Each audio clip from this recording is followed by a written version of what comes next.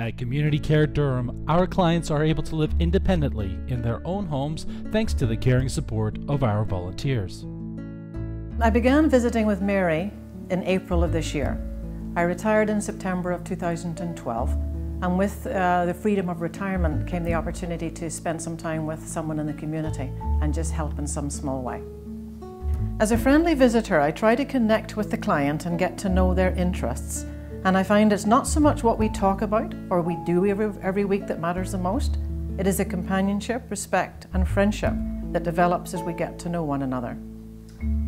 The staff at Community Care Durham do a great job of matching up volunteers with clients, and as a result, my visits with Mary have become something we both look forward to. We usually spend the time playing cards or a, a game of Scrabble, and as we play, we chat, and we find the time just flies by. I would say that I get a great sense of satisfaction from the visits, knowing that I have helped someone feel valued and less alone.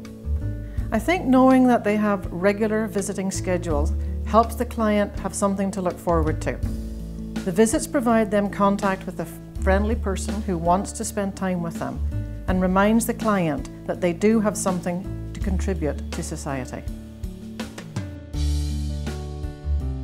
Whether it's a few hours a week or a few hours a month, you can make a difference in someone's life.